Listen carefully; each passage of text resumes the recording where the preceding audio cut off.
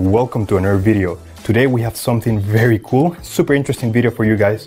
I'm gonna show you how to unlock the network of your phone to use it with any carrier. Uh, this is gonna be useful if you wanna switch providers and use your phone with any other um, SIM card, any other carrier in any country.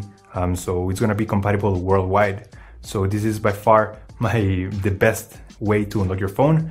Uh, I'm gonna show you how to do it step by step. Now this will work regardless if your phone is still under contract or out of contract. Uh, it doesn't really matter. Um, without further ado, let's start. So to start, we're gonna get the phone's IMEI number. That's a unique number for every phone. So to get it, simply dial star hash zero six hash. As you will see, your 15-digit IMEI number will appear in the screen of your phone.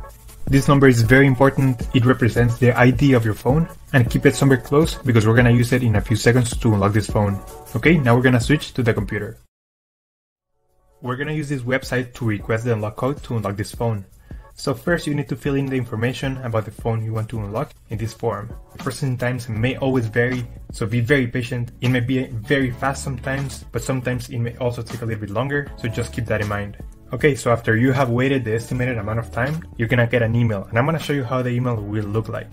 And as you can see here, I got this message and it confirms that the phone has been unlocked. Any questions, just leave them on the comment section down below and I'll try to answer all of them. Thank you so much and I'll see you on the next one.